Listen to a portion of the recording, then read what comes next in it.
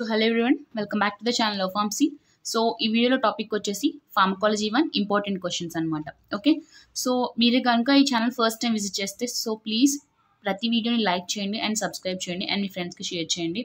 So అలా అయితే video అనేది చాలా మందికి రీచ్ అవుతుంది. So okay so please like చేయండి. చాలా మంది చూస్తున్నారు కానీ బట్ లైక్ చేయట్లేదు. సో మీరు లైక్ చేయడం వల్ల వీడియో అనేది చాలా మందికి రీచ్ అవుతుంది. అండ్ ఫస్ట్ టాపిక్ వచ్చేసి ఫార్మకాలజీ వన్లో ఇంపార్టెంట్ క్వశ్చన్స్ అనమాట అండ్ ఇందులో నేను ఎక్స్ప్లెయిన్ చేసింది only ten marks so see ఎందుకంటే మనం first make sure to have a syllabus copy మీ దగ్గర సిలబస్ కాపీ ఉండేలా చూసుకోండి.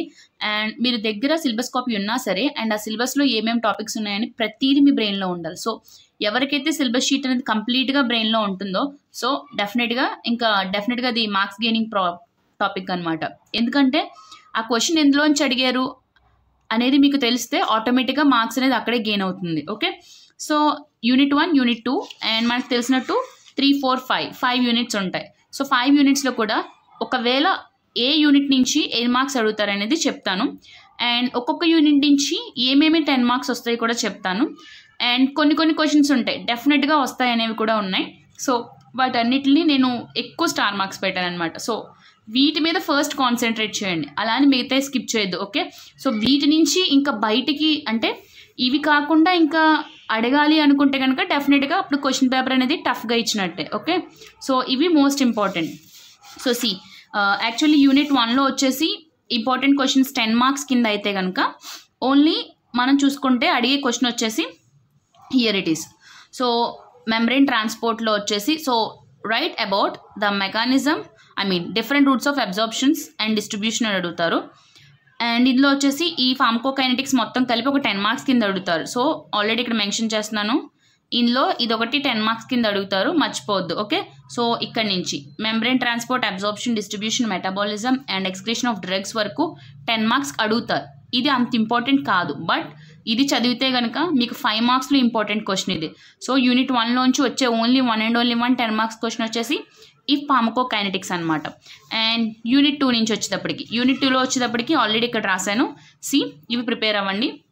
Explain in detail about GPCR receptors so first ఇక్కడ వచ్చేసి classify about GPCR receptors and explain about transmembrane binding receptor so మిమ్మల్ని GPCR receptor classify చేయమని అడుగుతారు and only జాక్స్టాటే అడగరు.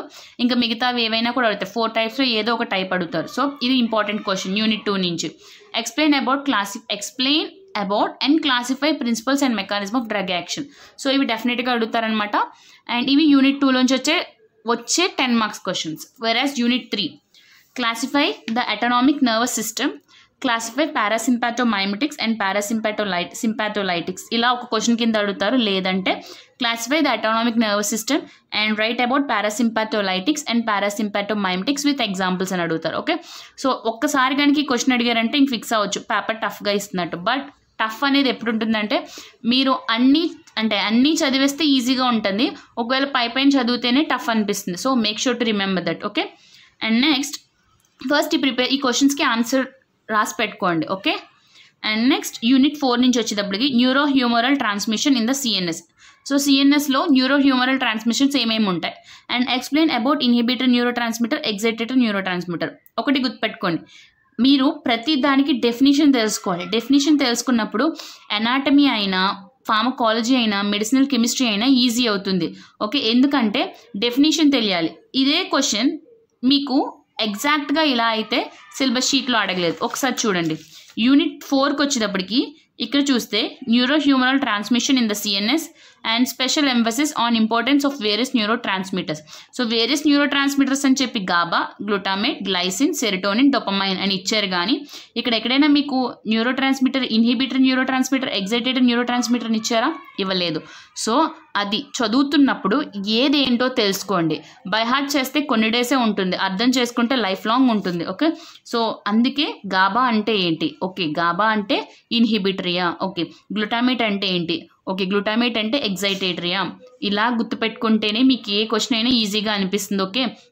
So star mark మరీ మరీ పెట్టామంటే ముందా క్వశ్చన్స్ మీద కాన్సన్ట్రేట్ పెట్టండి. ఓకే? కాన్సన్ట్రేట్ చెయ్యండి డెఫినెట్గా. And next classify antiepileptics. ఇది కొన్ని ఏవైతే ఎక్కువ స్టార్ మార్క్స్ పెడతామో సో ఫస్ట్ వాటిని గుర్తు పెట్టుకుని మరీ చదవండి.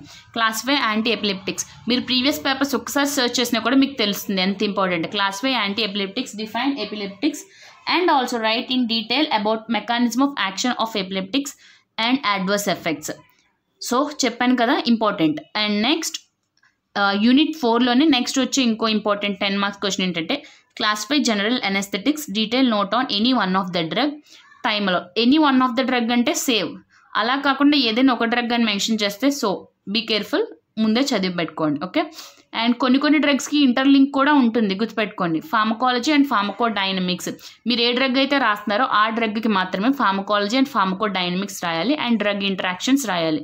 సో ఈ క్వశ్చన్ వచ్చేసి మనకి సో ఇక్కడ వరకు యూనిట్ ఫోర్ ఇంపార్టెంట్ క్వశ్చన్స్ అనమాట ఇప్పుడు యూనిట్ ఫైవ్కి వస్తే మళ్ళీ మళ్ళీ చెప్తున్నాను ఇవి చాలా ఇంపార్టెంట్ ఇంతకు మించి అవుట్ ఆఫ్ టెన్ మార్క్స్ అడిగే క్వశ్చన్స్ అయితే లేవు okay so classify anti psychotics write pharmacology and pharmacodynamics drug interaction adverse effects and mechanism of action మరీ మరీ స్టార్ మార్క్ పెట్టాను చాలా ఇంపార్టెంట్ యాంటీసైకోటిక్స్ డెఫినెట్గా ఉంటుంది.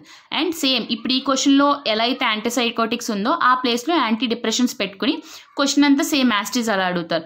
అండ్ ఆల్సో సేమ్ అలాగే యాంటీ యాంగ్జైటీ డ్రగ్స్ అని కూడా అడుగుతారు okay and next anti depressant anti anxiety important కాదా అంటే ఫైవ్ మార్క్స్కి అడుగుతారు బట్ అలా అని చెప్పి స్కిప్ చేయదు at least minimum basic information పెట్టుకోండి. అండ్ డ్రగ్స్ యూజ్డ్ ఇన్ ఫార్మకోడ్ పర్కిన్సన్స్ డిసీజ్ అనమాట సో చాలా ఇంపార్టెంట్ ఈ question and mechanism of action adverse effects and drug interactions and as well as pharmacology and detail and next drugs classify in Alzheimer's disease and first drugs classify అన్నారంటే డెఫినెట్గా క్లాసిఫికేషన్స్కి మీకు five marks దాకా పడుతుంది. అది మర్చిపోద్దు. Okay తర్వాత mechanism of action వాళ్ళు five to three or five ఏదో ఒకటి పెట్టవచ్చు okay and mechanism of action and as well as adverse effects and drug interactions pharmacology so ఇలా ఎప్పుడైతే మీకు సెగ్రిగేట్ చేశారో గుర్తుపెట్టుకోండి దీనికి two marks two marks and two marks దీనికి త్రీ మార్క్స్ అలా డివైడ్ చేస్తారు. మీరు ఓన్లీ టైం అంతా పట్టుకెళ్ళి క్లాసిఫికేషన్ మీద పెట్టేసి మిగతా వాటిని వదిలేస్తే మీరు క్లాస్ఫై ఎక్కువ రాశారు కదా అని ఎక్కువ మార్క్స్ కూడా ఇవ్వరు. అన్నిటికీ బ్యాలెన్స్ చేసుకుంటారు.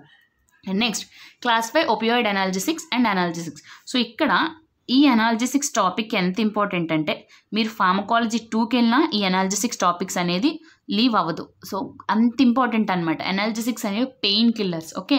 So mechanism of action and adverse effects and drug interaction in detail ఏదో ఒక డ్రగ్కి రాయాలి. ఓపియాయిడ్స్ అన్నప్పుడు దీస్ ఆర్ ద నార్కోటిక్ కాబట్టి ఏదో ఒకటి మార్ఫినా లేకపోతే కొడినా ఏదో ఒక డ్రగ్కి మీరు రాయాలి. Write about antagonist. అండ్ ఈ డ్రగ్స్కి యాంటగోనిస్ట్. యాంటగోనిస్ట్ అంటే చాలాసార్లు చెప్పాను ఎగనిస్ట్. అంటే ఈ యొక్క వాటికి ఎగనెస్ట్గా యాక్ట్ చేసేది. ఇప్పుడు పెయిన్ కిల్లర్ యాక్షన్ పెయిన్ రావట్లేదు అనుకోండి అయినా అది యాక్ట్ చేస్తుంది అనుకోండి దాన్ని ఇన్హిబిట్ చేయాలి. ఎందుకు? ఎక్సెసివ్ పని లేకుండా ఏ డ్రగ్ అయినా మన బాడీలో యాక్ట్ చేస్తే దానికి యాడ్వర్స్ ఎఫెక్ట్ చూపిస్తుంది కాబట్టి దీన్ని ఇన్హిబిట్ చేయాలి. So these are the antagonist so ఇంతకు మించి టెన్ మార్క్స్ క్వశ్చన్స్ అయితే లేవు. సో ఐ థింక్ మీకు నచ్చితే లైక్ చేయండి. Thank you